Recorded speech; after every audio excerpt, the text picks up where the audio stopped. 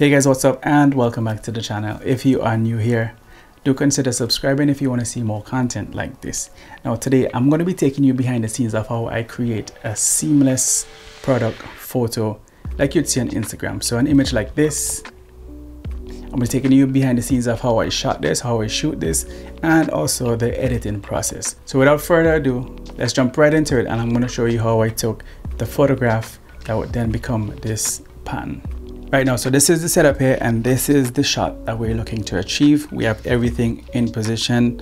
It's properly exposed. Um, it's just ready to go. Now I'm gonna start by saying that you can shape this shadow exactly how you want it. If you want it long, if you want it off center, uh, let's just show that in motion right here.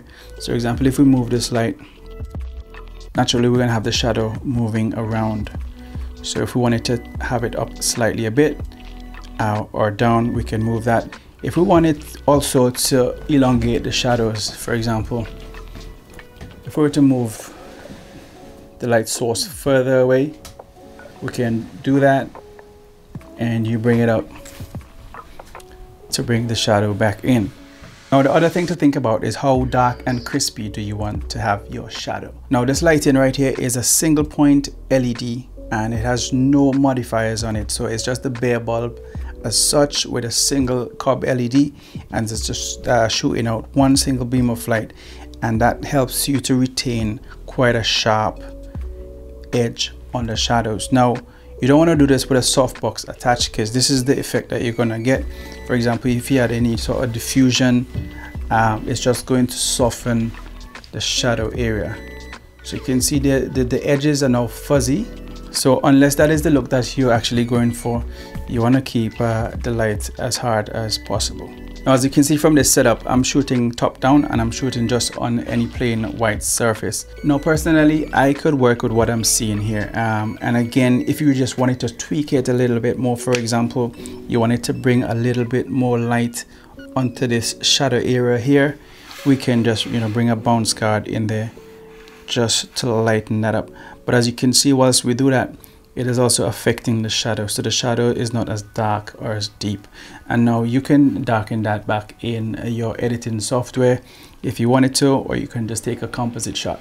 So you take two shots one to expose for the uh, fill in here using this card and you take another shot with this and then you just blend the two images in Photoshop now, if that is the only product that you're going to be showing in the final image, then you're pretty much good to go into the editing suite from here.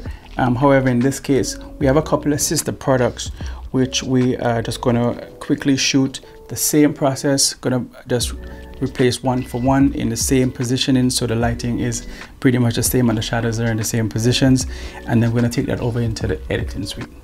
Okay so now we are over in photoshop. We've opened up our image here and we see we've got a single layer just here. And what we're looking to do right now is to isolate this. So what we're going to do is select it. One of the quickest ways to do this is using the object selection tool. Just draw around the object and that will try its best to select your object for you. And that's done a pretty good job but what you want to do now is to go in and inspect this a little bit more just to make sure that it has captured everything. Obviously it's trying to compute this edge but because it's a little bit blown out um, it kind of missed it. So you can then choose the quick selection tool and just add this edge here to the selection right? And as I say uh, you go around this shape and you inspect it make sure it's captured everything that you want to capture in there. So now you've done this you're going to select and mask this and you're going to refine the mask. So that is let me just go back there so using the select and mask up at the top here you hit that button and you get to refine the edges on here. So I mean you know you can just kind of smooth the edges out a little bit and I take it up to about 5 in my case and about 0.6 on the feather. So I'm feathering the edges a little bit so that it can blend into whatever background that I'm you know gonna put it on you know and you can do a lot of fine tuning within this panel here just to get your selection just right. But I'm going to be okay with that for the purposes of this. And now we have a selection here. All we're going to do is right click on here and we're going to create a layer via copy. So we can see what is done. If we were to turn off this background layer we can see now this is uh, a transparent this has a transparent background. And that's kind of what we are going for. Now you can get rid of your background layer for now and the second thing that we're going to do in here is to do some quick cleaning up. So I'm using the brush healing tools uh, in this process here just to go through and just quickly clean up anything that needs cleaning up. And you can go in on this as far or as much as you can. Just make sure you just don't have anything obvious that needs to be removed in this case. And this is the process where you do it. You want to do it now because when you duplicate this you don't want to be retouching sort of six copies of this as opposed to just the original one. All right uh, so now that I've done the tidying up and if you do want to tweak any coloring or anything like that on this this is the point where you do it. But I'm ready for the next step. Now I'm just going to crop this as is and I'm just going to refine the crop a little bit. Just give it an extra little breathing space around the edges and that should do nicely. If I press enter that is my selection. And as I say if you have more than one different images or different products you would go ahead and do exactly the same for those other three. What I'm going to do here now is just make sure I have that layer selected. I'm gonna come up to edit and I'm going to define pattern. So when you go to define pattern this dialog box comes up and you're going to name it. So I'm going to name this as in this case vitamin C. I already have one in there so vitamin C2 and hit OK. So I'm going to explain what's going to happen here in a second. So now I have that and that is a defined object that I'm going to use to create a pattern. Okay, so now let's go ahead and create a new document. So we're going to go up to File, New, and you're going to get a dialog box, uh, create a new document. I'm going to just make this into a square 1920 by 1920 pixels. and we'll create that. So you get a blank document here where you can start to work on.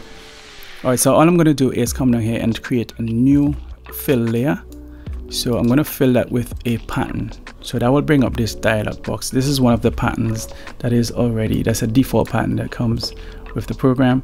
So what we're going to do is select the pattern that we have just created and if we were to choose that one we see that we have a pattern here now.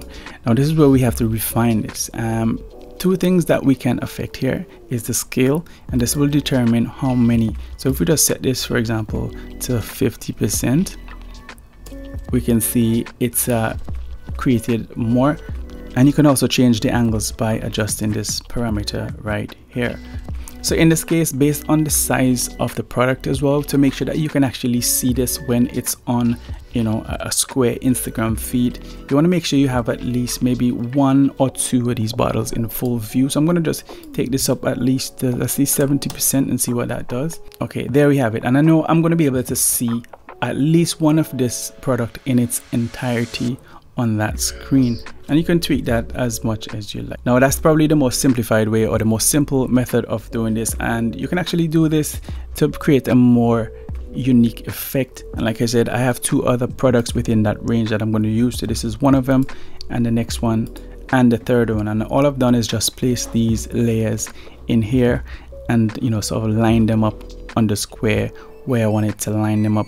The next thing what I'm going to do is to group those layers as I've done right here and then I'm gonna duplicate that group by pressing Command J. Command J duplicates the group. If we press back on the V or the move tool, then you can just move uh, that group or copy that group and you can place it wherever you want. You can off center it, you know, if you, if you like. Um, and you can create another copy of that and just keep moving these around until you kind of fill up this, this square in a manual fashion. You have these guidelines that you can also use to help you to line these up and you would eventually come to something like this which is what I've uh, created earlier. If you look at my uh, layer panels you can see how many groups. I have at least 12 copies of the three of them and just placed on this canvas. Right, so what I'm going to do now is to just create a copy of all of these. What I'm going to do, do is turn the background off because I don't want to transfer that.